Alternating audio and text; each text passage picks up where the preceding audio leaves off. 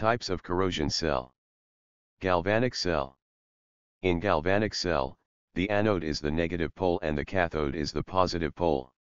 However, when current is impressed on a cell from an external battery or a generator, for example, in electroplating, reduction occurs at the electrode connected to the negative pole of the external current source and consequently this electrode is called the cathode. Similarly, the electrode connected to the positive pole of the external battery or generator is the anode. Hence, corrosion nomenclature is the opposite of electroplating nomenclature, where anode is positive and cathode is negative. Therefore, it is to remembered the cathode as the electrode at which current enters from the electrolytic solution and the anode as the electrode at which current leaves to turn to the electrolyte. This situation is true whether current is impressed on or drawn from the cell. Dissimilar electrode cell.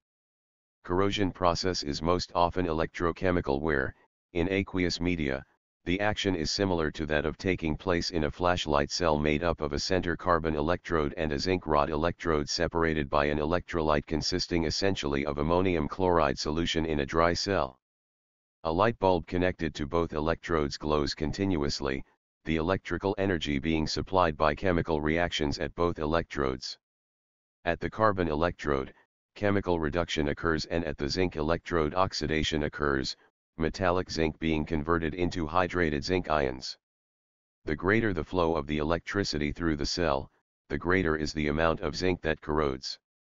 The dry cell is an example of the dissimilar electrode corrosion cell. A metal containing electrically conducting impurities on the surface as a separate phase, a copper pipe connected to an iron pipe, and a bronze propeller in contact with steel hull of a ship are other examples of the dissimilar electrode corrosion cell. Concentration cell. They are similar to galvanic cells except with an anode and cathode of the same metal in a heterogeneous electrolyte. Therefore, these are the corrosion cells having two identical electrodes each in contact with an environment of different composition or concentrations.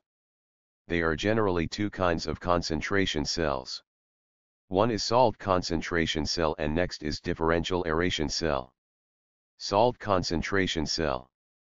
If one copper electrode is exposed to a concentrated copper sulfate solution and another to a dilute copper sulfate solution as shown in the figure, copper dissolves from the electrode in contact with the dilute solution and plates out on the other electrode.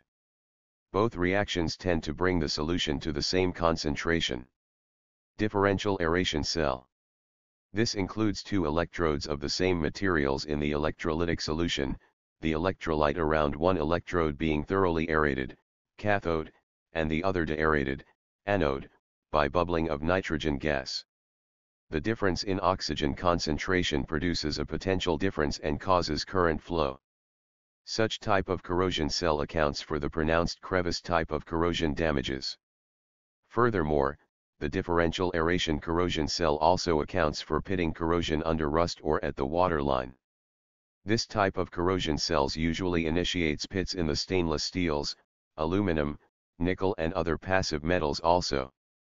Concentration cells may be set up in soils by variation in the amount of oxygen in soils, differences in moisture content of soils and differences in the compositions of the soil.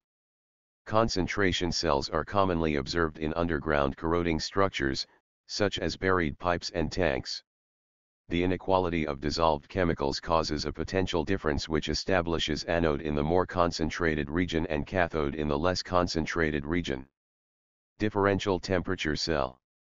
Components of the differential temperature cells are electrodes of the same metal immersed in an electrolyte of the same initial concentration with different temperature. The copper electrode in copper sulfate solution at high temperature is the cathode and the copper electrode at lower temperature is an anode. Therefore, copper deposits on the hot electrode and dissolves from the cold electrodes on short-circuiting the copper-copper cell. Differential temperature corrosion cells are found in heat exchangers, boilers, immersion heaters, and so on. Thanks for watching, please like and subscribe, bye bye, see you.